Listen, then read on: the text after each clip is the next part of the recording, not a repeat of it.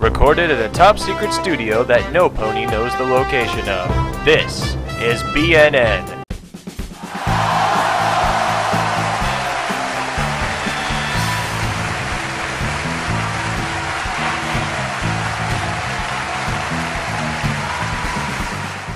Mares and gentle colts, welcome to another episode of BNN.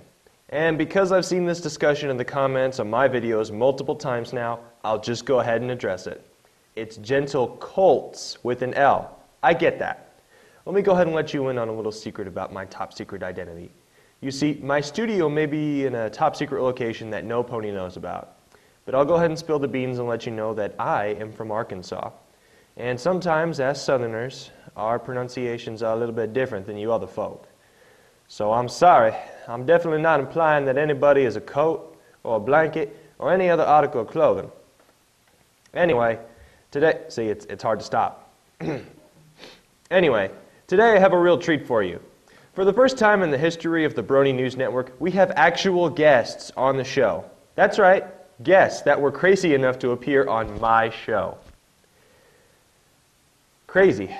Well, how crazy am I? Well, on a scale of this.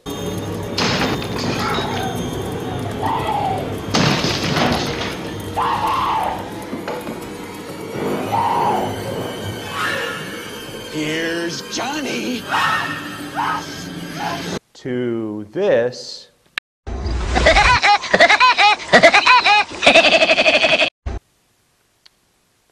Probably somewhere in the middle. Mayors and gentle coats, continuing our Unicon disaster fallout coverage, we've seen a disastrous domino effect. You see, it was reported recently that Tara Strong, my personal favorite voice actress of all time, was just one of the people wronged by Unicon staff. Well, due to the way she was treated, she's now canceled her appearance at upcoming pony convention Big Apple PonyCon, which is actually run by several of the people from BronyCon. Now, she'll still do a Skype interview for the fans there, but she's officially not appearing at that convention. So, good job to the dicks that ran Unicon. Spectacular! In fact, on a scale of how much you're disliked by it now by the Brony fan base, you're probably just above this guy. Die gesamte Generalität ist nichts weiter als ein Haufen niederträchtiger, treuloser Feiglinge! Mein Führer, ich kann nicht zulassen, dass die Soldaten, die für Sie Ihr verbringen. seid Feiglinge! And just below this guy. Oh, I won't ask for much this Christmas. I won't even wish for snow. I'm just gonna keep on waiting underneath the mist. So anyway, Tara will no longer be attending Big Apple PonyCon, and there's no telling how many other voice actors will cancel their appearances at smaller cons because of this. So once again, good job. I'm searching for a word to describe the people who ran Unicon, but uh, it's just what they did to Tara and the other guests. I, I, I just can't come up with a word to describe them. So I'll let Joey Tribbiani from the cast of Friends come up with one. You jackass. That'll work. Mares and gentle colts, I've come down to an interesting conclusion. You see, as I just reported, Big Apple PonyCon is now down one guest since Tara Strong will not be showing up, and they're kind of getting down to the wire. Big Apple PonyCon is in just a couple weeks, 13 days to be exact. So, mares and gentle colts that are on the convention staff, you ponies are in kind of a pickle. Where on earth are you going to find a guest to replace Tara Strong? I mean, it's not like there's just some amazing journalist out there who would gladly do a live recording of his award winning show at your convention that Saturday. Oh, wait. There's me. Now, I'm not saying that I can fill Tara's shoes, but uh, I do happen to wear size 13s, if you know what I mean. So, if you find yourself needing another guest for Big Apple PonyCon, feel free to contact me. My email is in the description below this video, and I'll be waiting. Hello? Excuse me for a second, everyone. That's my lawyer. Yes? Oh. I'm not allowed to wink at the camera anymore? Uh huh. Uh huh. A coma, you say? Well, that is pretty serious. I, I guess the, the, audience, some of them just can't handle my awesomeness. Well, I'll, I'll try to tone it down. Okay, thanks. Bye. Sorry about that. And now we get to the hot tamale of today's show. I've actually managed to snag a quick interview with Josh and Justin, two representatives from ponyplushies.com. Find out who these cool colts are in the following interview, but be warned, they're pretty awesome. I guess uh, we'll just go ahead and start off with some introductions. Do you guys want to introduce yourselves, Josh and Justin? Tell us who you're with. Sure, Josh, go ahead. I'm Josh. I'm from Houston, Texas. Um, I started Pony Plushies with Justin, uh, and I kind of uh, went away from internet marketing and have been focused on um, the plushies and going to conventions and that kind of stuff. Aside from um, the plushies and bronies, uh, in my spare time, I like to play ultimate frisbee and video games and basketball. Cool, cool, cool. Uh, I'm Justin. I do a lot of the uh, online customer relations stuff and uh, a lot of the site development. Um, like Josh said, we started Pony Plushies back um, probably in uh, January of last year. And uh, started it with some friends of ours we thought it would be a fun thing to do. And it's kind of grown from there and really taken off to somewhere we can be proud of it. What, uh, keeping with introductions, you guys, you said you started with friends. Uh, how how big of an operation is PonyPlushies.com? Um, not that large an operation. It's uh, mostly kind of uh, uh, just some people that we knew that were already involved in making. I, I'd say it's toys it, yeah, it's under 15 people, but um, we have we have like a lot of friends and like good fans that will like support us. They'll uh, help with like customer support. Right. or- As far as like how many people help to make pony plushies, I mean, we get commissions done all the time, and we get a lot of people helping from the community just because they like our product and like what we're doing for the fans. So we get a lot of different people involved helping us out.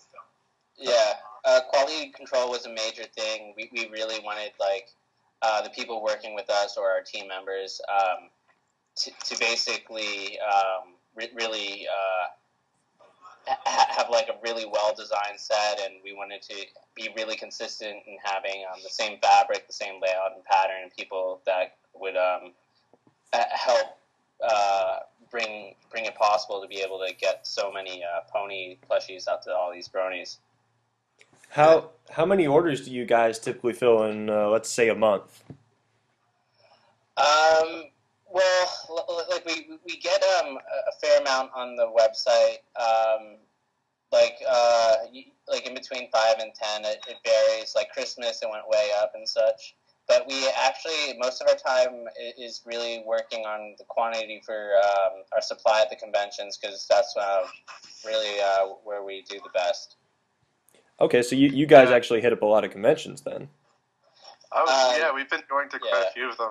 Um, it, it's it really uh, I guess it's the place people are most looking for Brony merch. So uh, they tend to really like our plushies there, and we do really well and get excited for them. So uh, we've been to quite a few. Our first was actually BronyCon, which was quite interesting because that was probably our largest as well.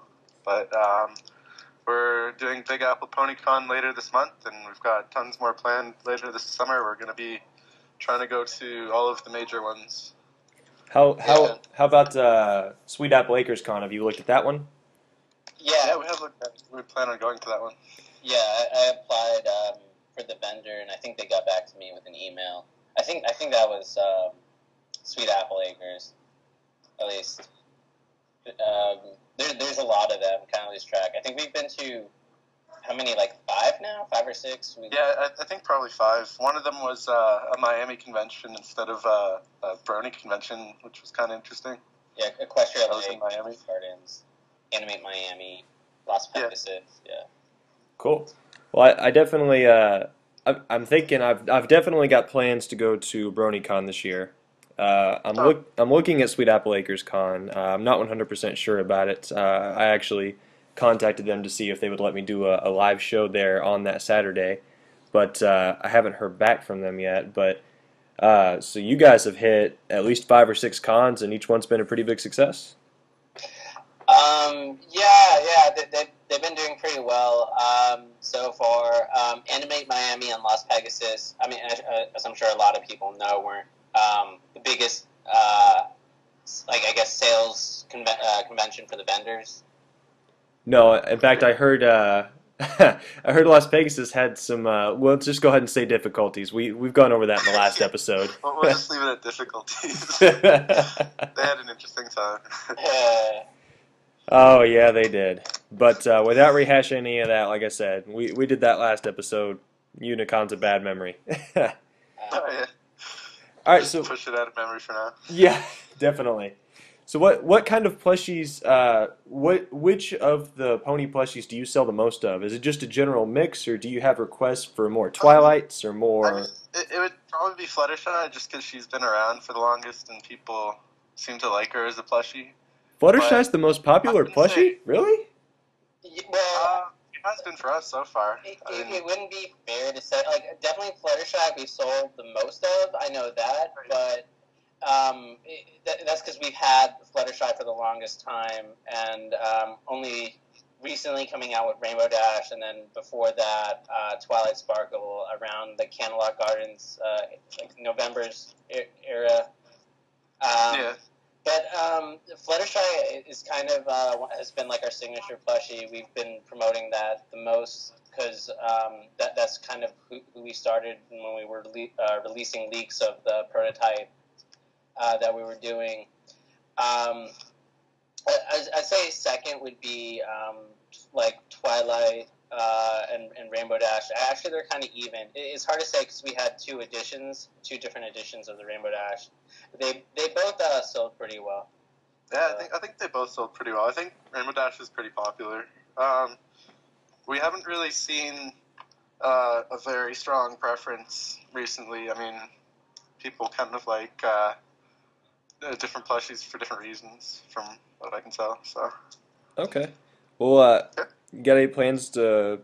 I mean, Twilight's obviously gone through some changes. Have you uh, you got any requests for that yet? um, we have had people asking about redoing Twilight. Um, our official position is that we're gonna wait as a minimum until we're done with the main six because we don't want to get into redoing characters when we haven't even finished the ones we said we were going to come out with. Okay. But um, I think uh, we- we have Pinkie Pie as the next up for release, and she shouldn't be too long off. And then um, after that, we'll be doing Rarity and Applejack, and I think we'll probably um, see about doing Princess Luna um, first after the background character. Sorry, after the main six. okay. But um, she'll be she'll be an interesting prototype to do because she's so different. So I don't really know how long that's going to take us to prepare.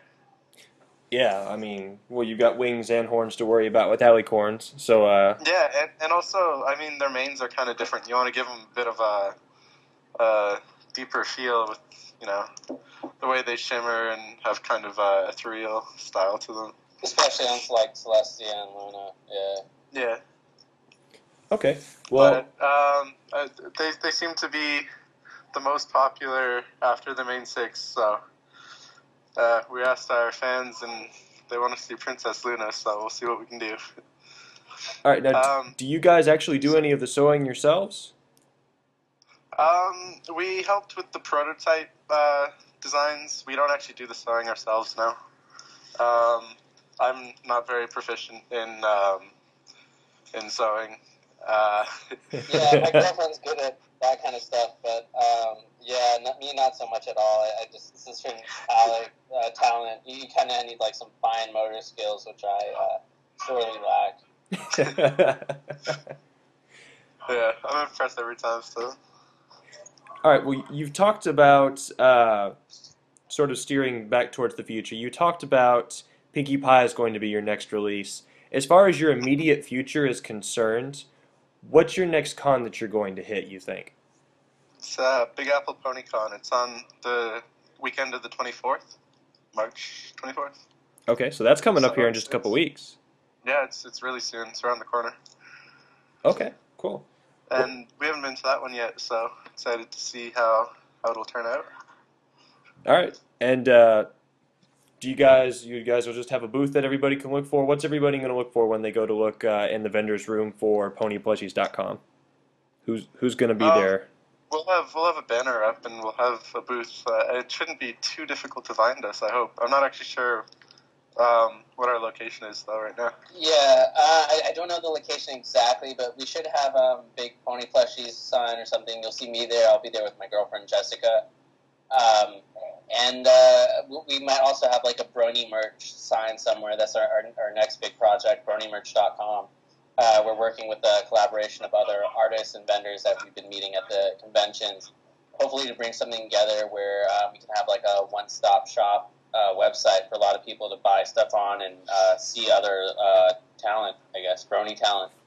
Really? So you guys, uh, and when I say you guys, I mean both of you, everybody that's involved in PonyPlushies.com. You're actually working on a website with other merchants you've met at conventions, where everybody can just sort of come in and shop for whatever merchandise they want. Um, we've been we've been talking to them for a while and uh, kind of had this idea on the back burner, but um, we've uh, started finishing everything and getting it ready now. Um, just as uh, kind of a uh, a way for artists to market themselves to other bronies because uh, a lot of them, uh, you know, could do with something like that, and uh, it's a very exciting project for us to get involved in because we don't, I don't, I don't know.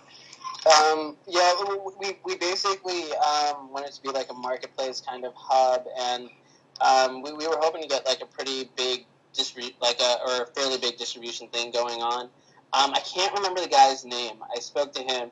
Um, we were talking about. Uh, I wouldn't know if it's like fiscally uh, possible. Um, as of yet, I haven't looked into it that much. But um, if if we could get a big group of vendors together to um, or, or, or distributors to actually buy a license from Hasbro, so we could sell everything legally, um, would be a pretty go good go for us. Okay. Okay, well then, uh, are you both of you going to actually be at uh, Big Apple PonyCon? Uh, I know, just just myself and my girlfriend. Okay. Uh, so then, you guys have got this big website in the works that's supposed to be a hub, no pun intended, for for Brony shoppers, and you're working with other artists. Uh, what's the soonest that you guys think this plan will come to fruition? When can Bronies expect to see this uh, big website or expect the next announcement about Um, it? It it could likely be sooner, but uh, I would say by um, mid June at the latest. Or sorry, mid mid April. I meant. Um, it's uh, some of the proce- parts of the process are all ready to go, and then we're held up at some parts. So Yeah, Okay. It's, it's gonna probably be within a week, but like by mid month April. I, I, I- think just um, i- i- in its concept, it, it'd have to be a, a well. I mean, maybe not so much with real-time technology and social media, but uh, I, would expect it to be somewhat gradual. Where, um, like with Pony Plushies, it kind of take a while for people to latch onto it. Um, I, I, I mean, I think just people are like, "What's this website?" Oh, okay. And then after a while, they're like, "Oh, wait, wait, wait! So I give them money and I get ponies? Okay, okay." And it- it's the words. oh, okay. That's legit. I'll do that. Nice. So, so um, yeah, I mean, these, these things take time, and um, they're really time-consuming projects. Require a lot of like effort and patience, but um, it, it, it, it's a fun company to work for. I wouldn't have it any other way. Okay. All right. Well, Mares and Gentle Coats, you have heard them. They will be at Sweet. Uh, I'm sorry, Sweet. Uh, Big Apple Pony Con, March 24th. Be looking for the Pony Plushie sign. Be sure to visit ponyplushies.com and stay tuned in about a week or another uh, month or so, and they'll have an announcement about this big hub collaboration of artists they've been talking to. Guys, I really want to thank you for being on the show. Really appreciate it, and I hope to have you back in the future. Uh, thanks for having us. We, Thanks we look much. Yeah, it. it's great. Yeah, guys, once again, this is Josh and Justin from ponyplushies.com. Check them out. Awesome Fluttershy models. And uh, thanks for watching, everyone.